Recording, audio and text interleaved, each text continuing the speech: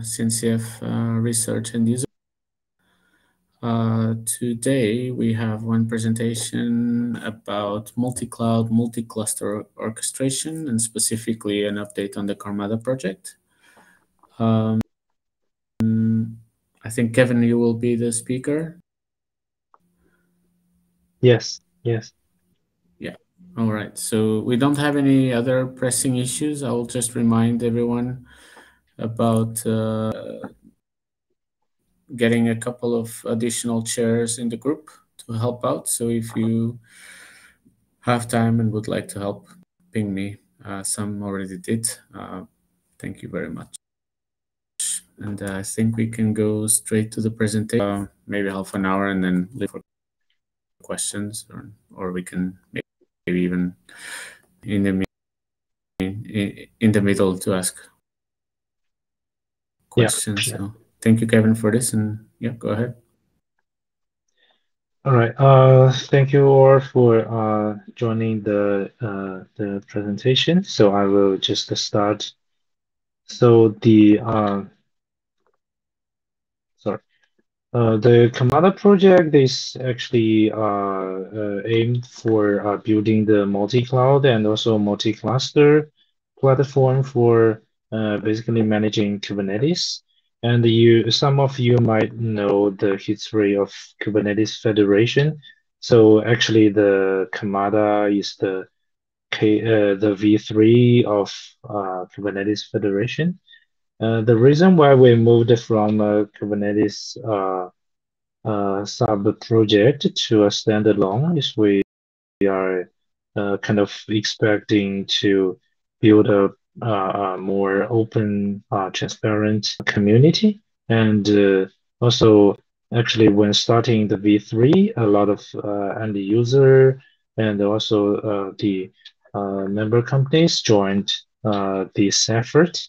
So we were aiming to provide a, a, neutral project and a neutral community to all the users and the contributors. The V3, uh, the updates, uh, the major difference to previous version is that we we finally decided to move back to the Kubernetes native API way. Uh, you might remember that the KubeFed, uh, the V2 implementation goes uh, to an uh, embedded API. Basically, it's a, a CRD, but it turned out a lot of challenges yeah, so that's a little bit background.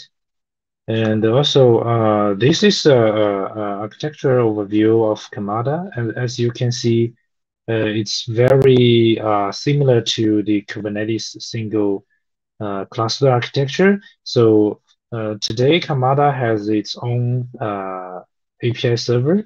It's actually the, the same binary from Kubernetes API server, but we loaded a set of extra uh, CRDs, uh, which is the uh, Karmada policies.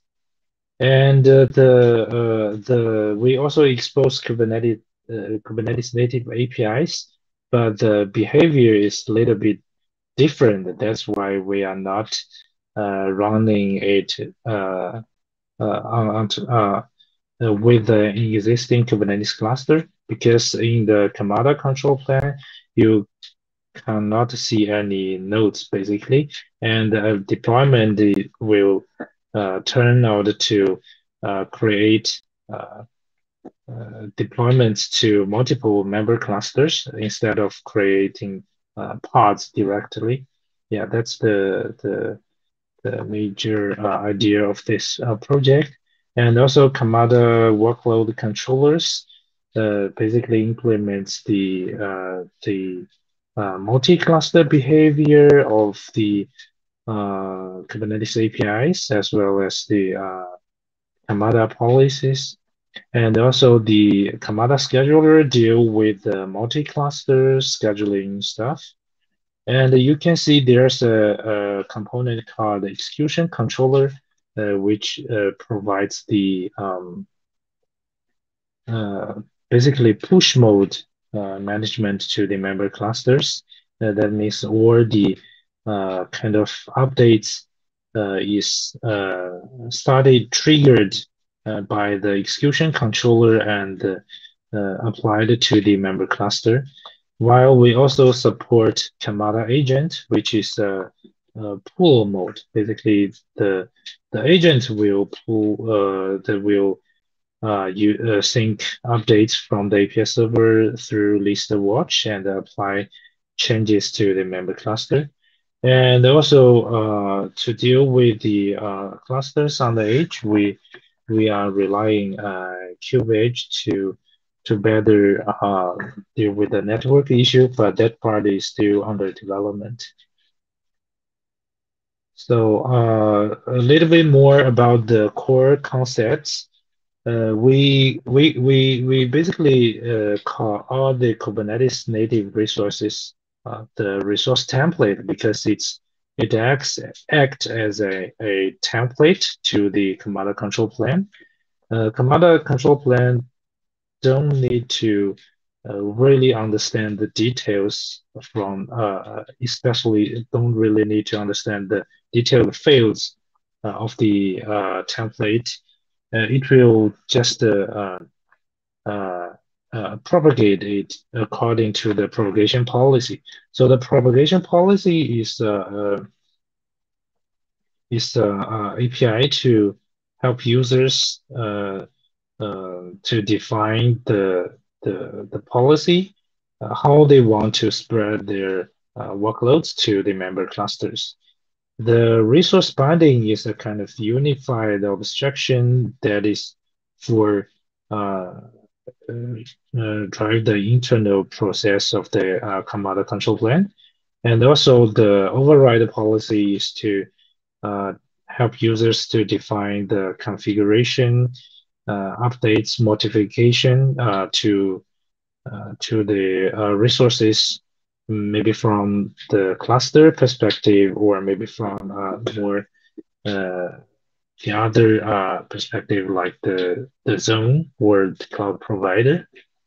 Uh, the work API is uh, actually a concept from the multi-cluster SIG. It's actually an object to basically wrap the Kubernetes uh, vanilla objects, and uh, so we can uh, basically, uh, you know, uh, transfer more field information to the member cluster. So this is uh, um, the major workflow inside the Karmada. As you can see, we, I marked uh, three uh, of people here. It because in different organization, um, they may have different team to deal with the system.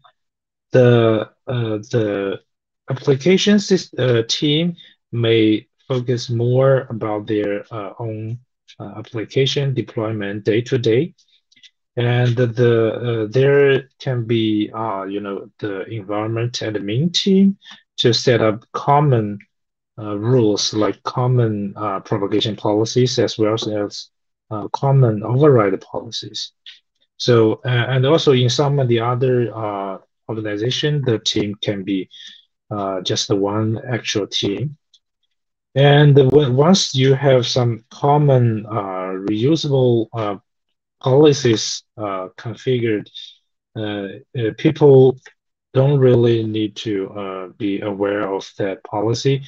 The uh, for the day-to-day application deployment rolling out, uh, people just need to modify the the resource template, and the the, the system will do the rest of the work.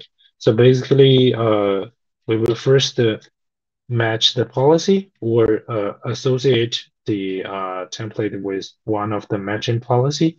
And the, the Karmada scheduler will deal with the, the scheduling part and update the result to the uh, to the binding uh, to the uh, to the binding resources.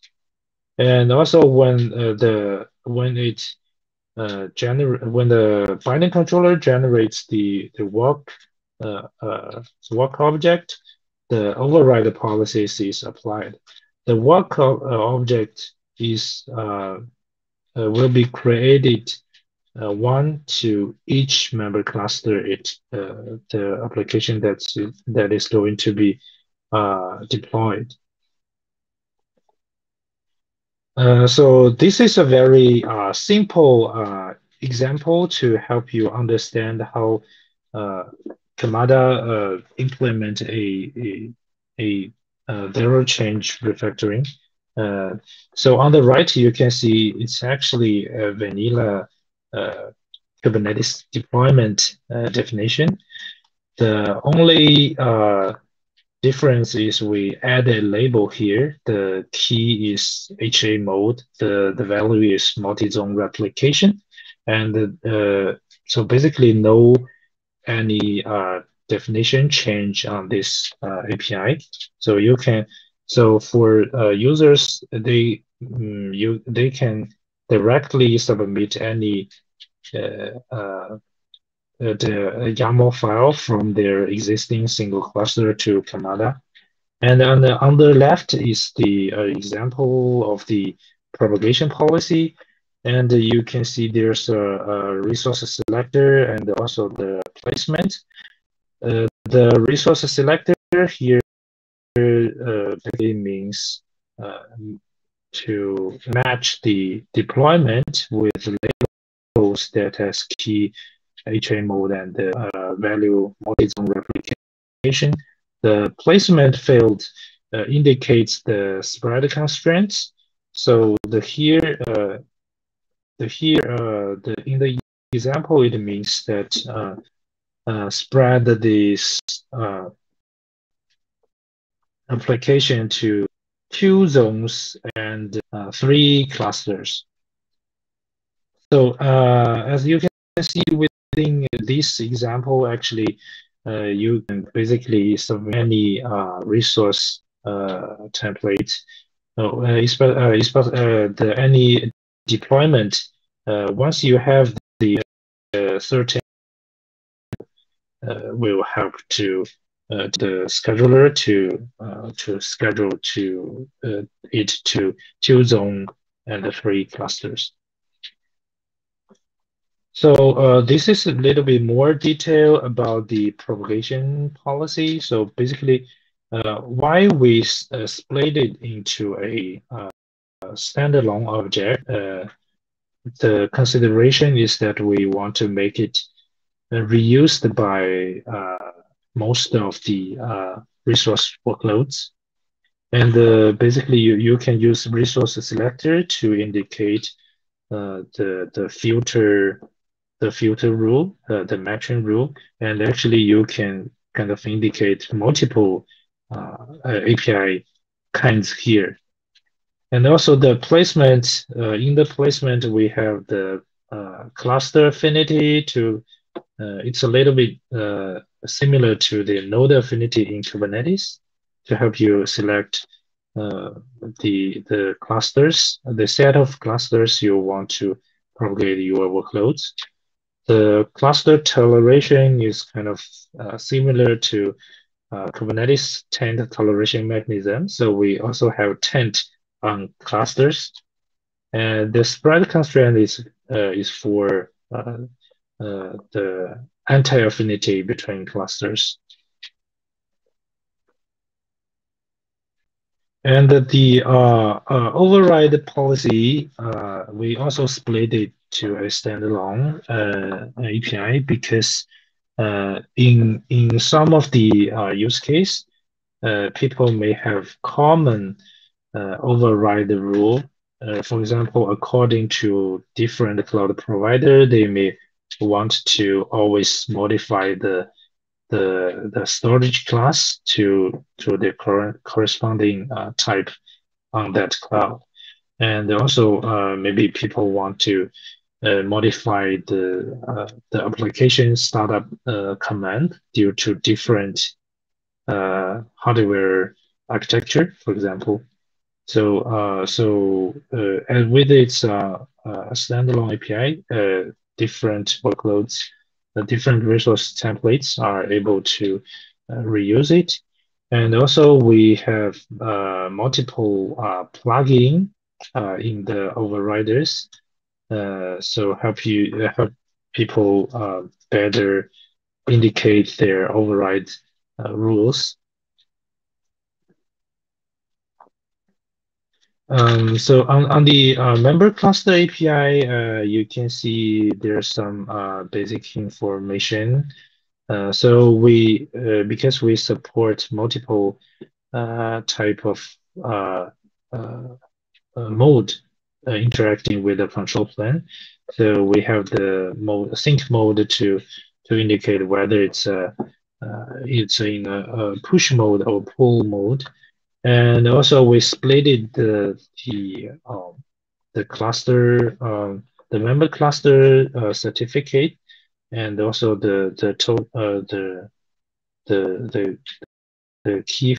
So uh, it it makes it uh, easier and less concern when the uh, the infrastructure team uh, grants uh, access to the application teams uh, on this API. So, uh, so for different application team, they can, you know, uh, query the member cluster API by themselves and uh, see whether uh, any uh, cluster they can uh, uh, limit their application or, or if there's any uh, cluster they prefer to run their application. And also we have a uh, we we also collect the uh, cluster basic information like Kubernetes version, uh, enabled API sets, and the version. Uh, this is very helpful for the Karmada scheduler to uh, to avoid scheduling uh, applications that need certain version of API while the member cluster didn't install or support that. And also we we actually calculate the uh, resource the member member cluster available resources in the Karmada control plan. So the resource summary here is a kind of uh, uh, compressed uh, resource information of the member cluster to uh, to better help the uh, scheduling uh, between different clusters. Uh, and today we, we actually added more uh, uh, features to the uh, to the Karmada project. Uh, some of the I already introduced, like the multi-cluster management. We support multiple mode, and this is super useful in different environment that uh, the control plane has public IP address while the member clusters not, or the, the flip side. And also, uh, um, uh, Uh, as we use the uh, expose the Kubernetes native API, it's uh, quite easy to uh, integrate with the other uh, tools. And we we also support propagating the CRDs. So for the users, it's quite easy. they just need to install the CRD on the Karmada control plane, and the system is able to help propagate the corresponding workload. And also, uh, we have built-in uh, some built-in uh, policies to simplify the deployment mode.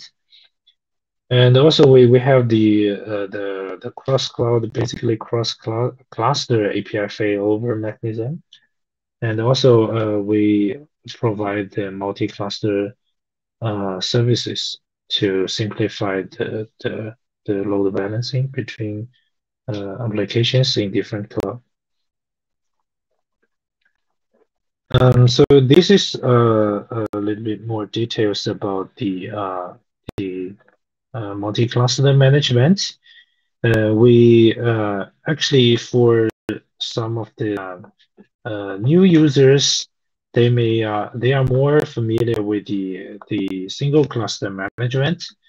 When they have more and more clusters, they kind of need to repeat their management of, uh, operations. So with Karmada, it's quite easy. You know, uh, you have uh, a, sing a single uh, access point, and you can just uh, configure the deploying deployment uh, propagation rule and submit maybe one time, and the system help you spread your applications.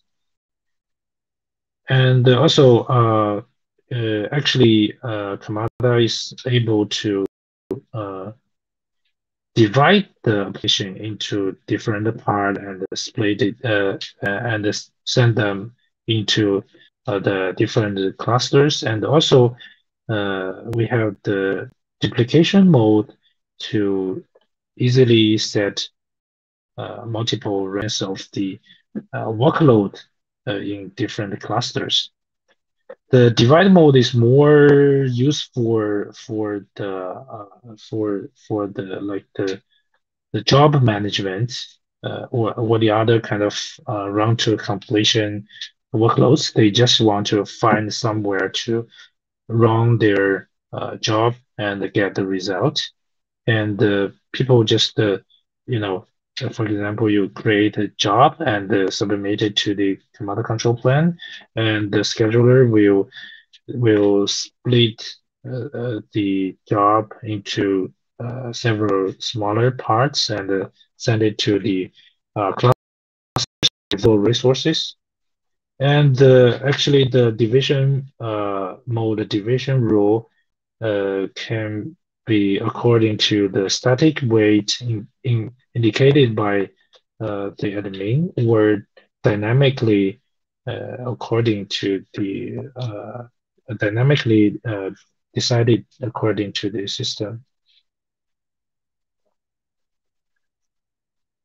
Uh, and also the, sorry.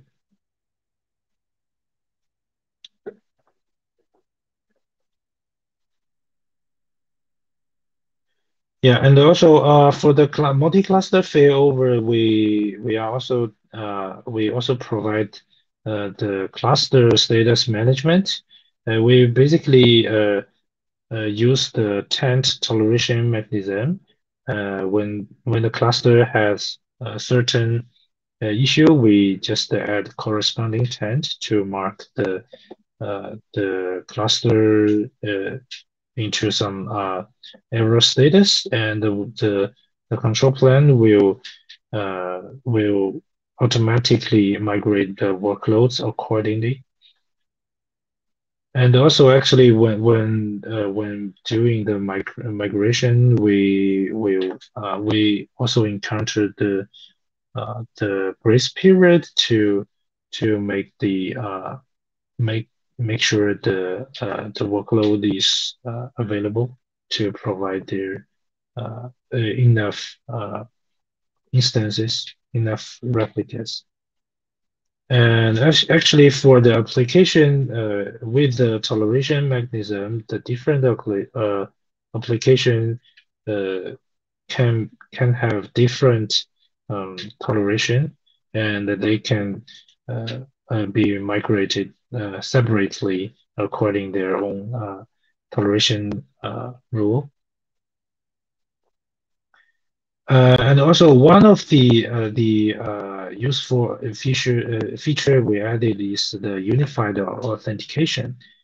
in some of the case, people may still need to directly interact with the Kubernetes Kubernetes API. That means people need, need direct access to a, a certain Kubernetes uh, cluster. Uh, the with with Karmada uh, unified authentication, uh, the the user don't need to change their uh, don't need to change their token, don't need to change their certificate. Uh, Karmada API, Karmada aggregated API server will deal with the the uh, uh, the the the access, and also for um, Karmada um, control plan itself when it forwarding the uh, vanilla single cluster API call, it will uh, impersonate as the uh, input user. So in the mem the member cluster, uh, the the authentication authorization is still uh, actually author authorization is uh, kind of uh, checked as the input user. Um, uh, another uh, useful feature is the global resource view. Um, it, this is super useful for the infrastructure team to to quickly find out if there's any uh, error state in the cluster. Um, besides collecting all the object status, we also provide the Elasticsearch OpenSearch uh, interface to users so they can uh, use some keywords to quickly filter, uh, quickly find uh, find the objects they want to take a look. And also for the uh, multi-cluster discovery, we basically uh, implement the the multi-cluster service uh, standard, which is discussed in the SIG multi-cluster.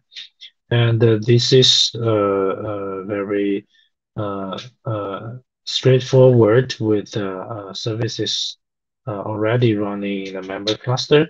We just insert another record of the cluster that has backend in the in another cluster uh, in the MCS, the multi-cluster service uh, uh, the, uh, specification, actually the service name is is uh, is a different name. So recently we are also uh, developing uh, another mechanism with a, a, global unified service name to uh, to deal with uh, the, the load balancing across uh, that is uh, located in, in the different uh, clusters.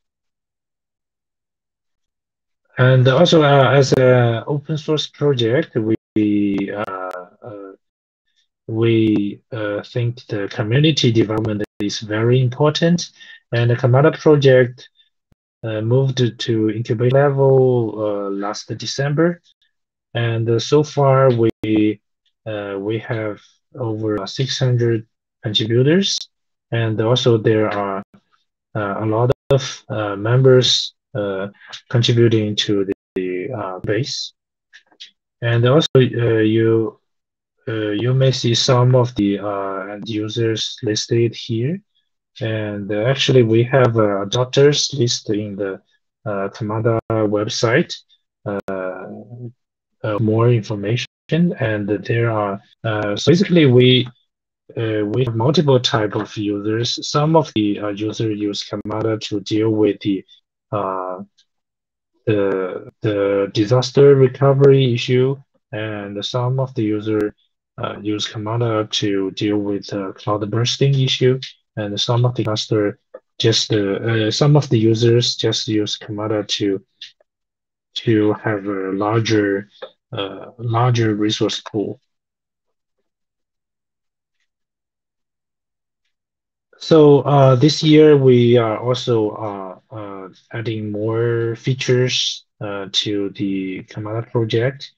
One of the very uh, one of the very important, very useful features about the Fleet API server.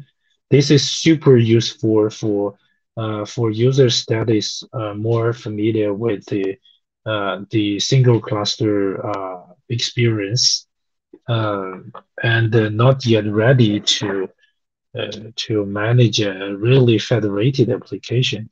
So the uh, Fleet API server basically aggregate all the uh, uh, logically aggregates all the uh, resources in the the member clusters and provide a uh, unified, simplified uh, query and uh, edit uh, experience uh, to the users. So you don't need to really uh, switch context to uh, to to tell system which uh, cluster I'm currently interacting. And uh, we are we are developing more uh, uh, scheduling mechanism to also help support better running like, like AI machine learning uh, workload on uh, a uh, multi-cluster environment. there's currently we don't divide the AI workloads uh, to multiple clusters. So it's really about uh, find other place to run the whole job.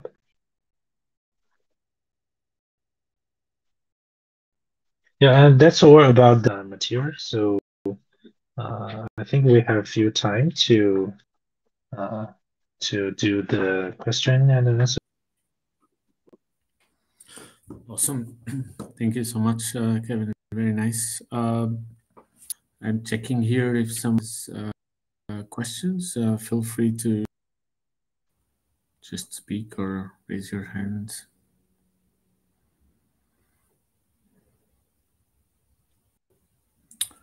Okay, well, people think about it. I have a couple. So the answer is right at uh, at what you said in the end, which is you said uh, uh, workloads, not split workloads between multiple clusters. That's what I understood. But uh, so there is no um, layer activity between uh, different clusters. I mean, like pod, pod to pod connectivity service to service connectivity.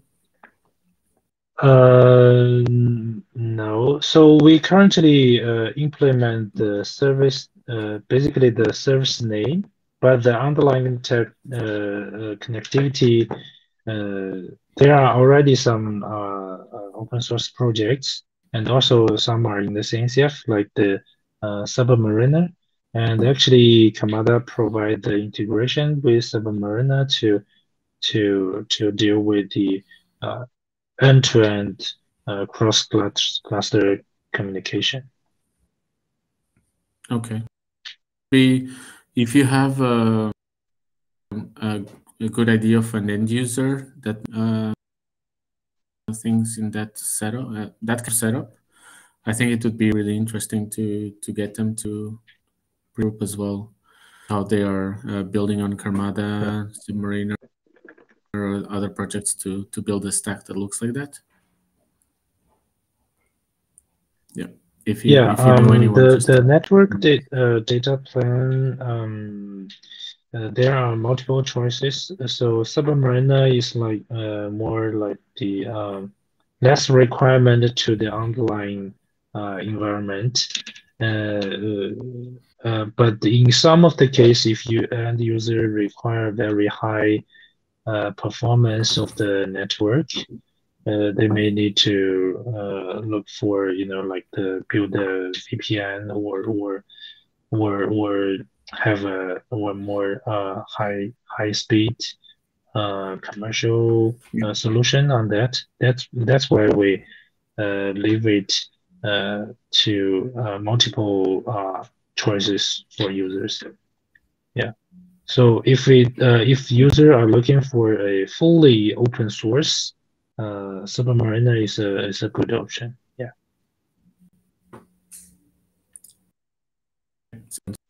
Checking again. See other questions. Don't. So my other question was about.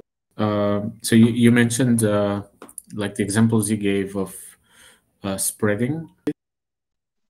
Um, so this kind of shows the usage for like service uh, multiple clusters or service deployment or even hybrid deployment which is mm -hmm. really nice uh, do you know if uh, submitting uh, sort of batch workloads across multiple clusters uh, so uh, we we do have uh, actually uh, a set of users that they uh, uh create batch workloads on top of Karmada, uh, but the the little bit difference between the service deployments is they don't want split the workload to multiple clusters, so they are just using Karmada to uh, to automatically find a, a, proper cluster to run the uh, workload. Yeah, like uh, uh, actually, uh, like in Tencent and also like in Bloomberg, they they already run in that way. Tencent is already running Karmada actually also together with Volcano uh, for three years. Yeah, the, the most of the workloads are batch workloads. Okay, so another good topic to to, to bring uh, an end user view to complement today to to see what the full stack then looks like with all these projects working together. That would be lovely. Mm -hmm. I can come up with more questions or others uh, want to come forward as well. Uh, I have a question. Uh, is Karmada looking to integrate the recent approved uh, cluster policy API? That is uh, going to be a native API for multi-cluster in Kubernetes?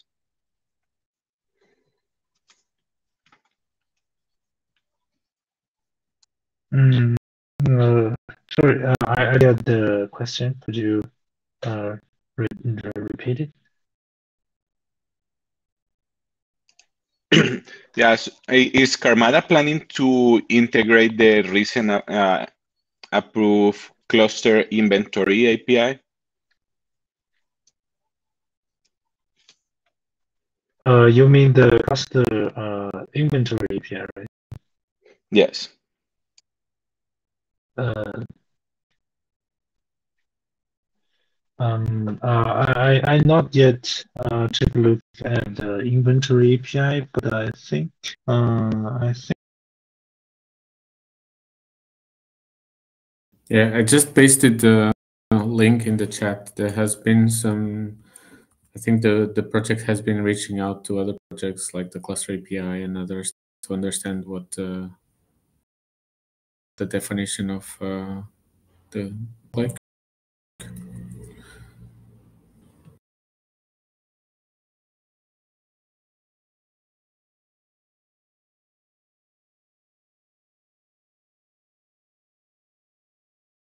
But I, I guess from the reply, it, it means that uh, for now there's no plan to do it, or did we lose Kevin? No.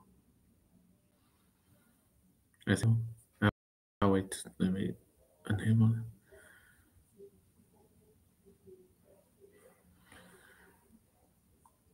You're still there, Kevin?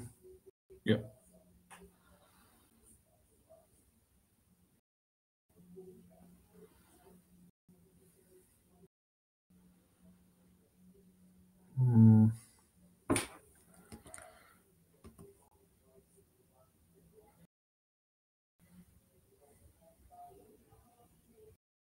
Might have lost him. I just saw him rejoining, but